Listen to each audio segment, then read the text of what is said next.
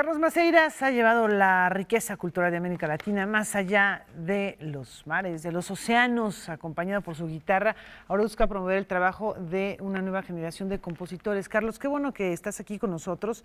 Nos traes además una nueva producción discográfica y bueno, pues hay que recordar también este, este disco que todavía eh, pues se puede adquirir, ¿verdad? Sí, solamente en mis conciertos, pero bien. Antes que nada, muchas gracias a ustedes. Al contrario, gracias por estar aquí.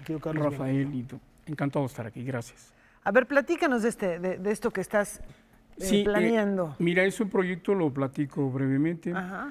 Eh, se trata de em, algún compositor no profesional que desee escuchar su obra para guitarra, que la tenga o la quiera componer para guitarra, y que, la, y que desee escucharla en una sala de conciertos. Yo la toco con mucho gusto. Yo la toco eh, no hay este, límite de ningún tipo que tenga una gracia musical. Desde luego, eso va a ser lo determinante, que tenga una gracia musical, una cierta mm, interés. Eh, Pero dices no profesionales, ¿verdad? No profesionales. Ahora bien, si gustan profesionales, también, por supuesto, profesionales. Está abierto a todos. Pero preferentemente, ¿sabes por qué? Porque comentaba con Rafael que hay una infinidad de talentos escondidos, derrumbados. No, pues yo no sé, no tengo el contacto. Claro, o a lo mejor no tienen esa formación, eh, digamos, tan, eh, tan profunda o académica que no se atreven. ¿no? no solamente eso, sino el contacto, ¿quién la toca? Si muchas veces, muchas veces un compositor profesional se tiene que enfrentar al problema de quién toca su obra. Este es un problema. Imagínate quien no tenga un contacto con algún músico eh, de escenario, ¿no? Yo soy un músico de escenario, bueno, entonces yo lo hago con mucho gusto y cierto estoy en que nos vamos a encontrar con mucho talento que estaba escondido por ahí. Y esto también es muy interesante, Carlos, y reconocer tu trabajo no solo como promotor de estas nuevas generaciones y de estos compositores que, andas buscando y yo creo que es necesario que encuentren plataforma, sino también tu labor como embajador, y no solo de la música de México, sino en general de Latinoamérica, como es el caso de este eh, más reciente material que grabaste en Alemania, que allá, bueno, tienes prácticamente la carrera consagrada y consolidada. Platícanos cuál es la recepción de estos ritmos latinoamericanos en Europa. Muy buena pregunta. Mira, en, Europa, en, términos generales, están ávidos de lo, que, de lo que estamos haciendo ahora en Latinoamérica. Imagínate yo llegar a tocar Bach a Alemania, pues como que no, no eh, la verdad, para nada.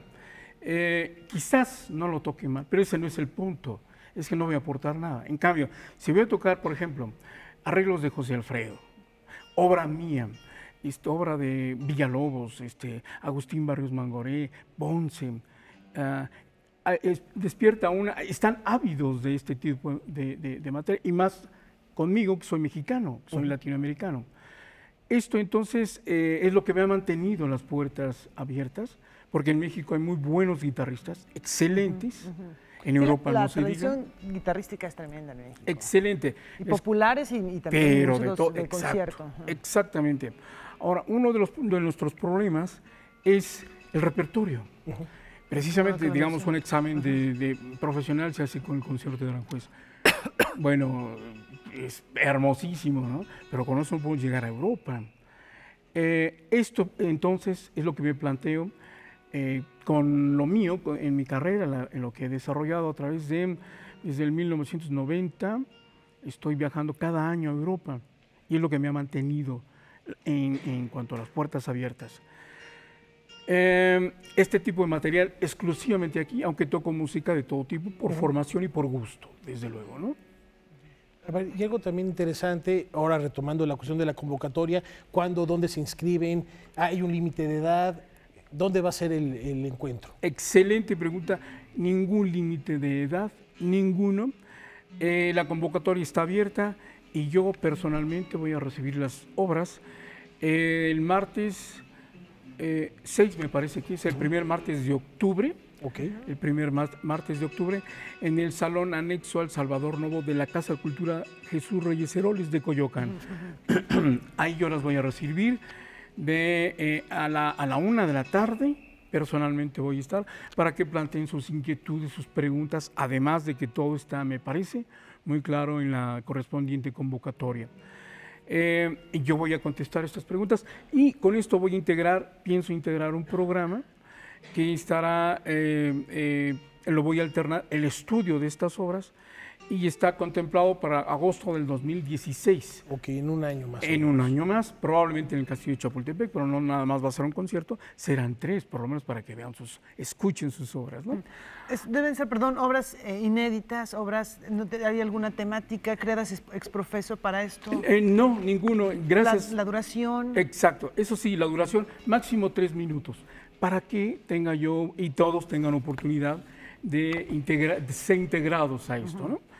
Em, en cuanto a la temática es libre, totalmente libre, puede ser desde lo tradicional hasta lo más contemporáneo, porque no me voy a fijar en, la, en que sean espeluznantemente difíciles. No, no, porque eso no, eso no, no determina la calidad de una obra, no.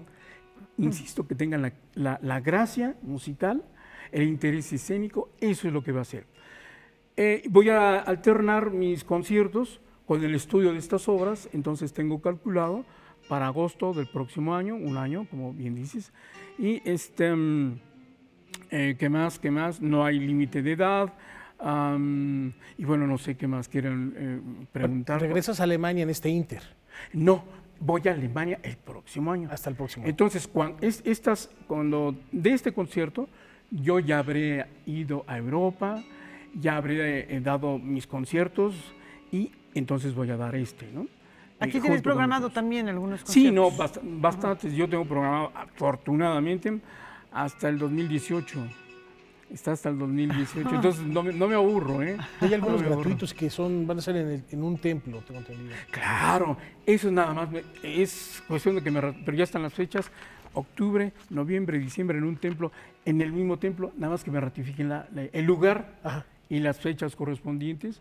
Este, y si ustedes me lo permiten, los volvería a molestar, nada más para esas fechas. Ah, no, por supuesto que vamos a estar pendiente porque siempre es importante reconocer la trayectoria de los mexicanos que están triunfando en el extranjero, decía Laura Sarratito Allende, de los océanos, y sobre todo con ese reconocimiento y con, con un instrumento que es tan nuestro, tan arraigado a la, memoria mexicana. Así es. Y, platícanos, tu guitarra es especial, tiene nombre, porque hay muchos guitarristas que suelen jugar con esto, ¿no? sí, ¿no?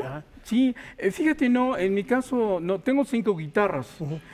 Y las cinco son obsequiadas. La última no me quiero extender mucho, voy a tratar de reducirlo. Me, me lo obsequió el, constructor Manuel Rodríguez en España. Él todavía vivía porque ya murió. Entro, qué bonita guitarra, a ver, pruébela. No, pues la verdad no tengo para comprarle su guitarra. Ah, pero pruébela, pruébela. Este, eh, no, está genial, señor maestro, pero, pero no tengo para comprar su guitarra. A ver, pero tóquela. ¿La tocaría? Claro que la, pero por Dios, pues claro que sí. Dice, ¿es usted peruano? No, soy mexicano. Dice, va de paso, sí, ayer toqué en el Ateneo de Madrid y bueno, quería esto. Y voy a grabar un disco. Ah, va a grabar un disco, sí, es el primero, este, este. Este, sí, va a grabar, ¿a, dónde? Alemania. ¿Grabaría con esta? Sí, llévesela. Oiga, no, no, no. pero de veras, sí, llévesela. Y su crédito está aquí, por supuesto. ¿Qué tocaste, Carlos? Eh, es, esto, mira, cosas de José Alfredo, cosas mías. Bach, toqué Bach en alemán, pero toqué una, de Bach. Este, y eh, una que le dediqué a un río de Alemania. este, y eso fue lo que toqué. Eh, creo que lo alcanzó a ver, porque de regreso, bueno, no está bien, sí tardó más pero se lo envié a España y poco tiempo después él murió. ¿no? historia. Entonces me regaló su guitarra. Posteriormente me regalan un estuche. Abro el estuche, ah, qué, padre estuche. Era Manuel Rodríguez, el estuche. Hacía cosa de locos.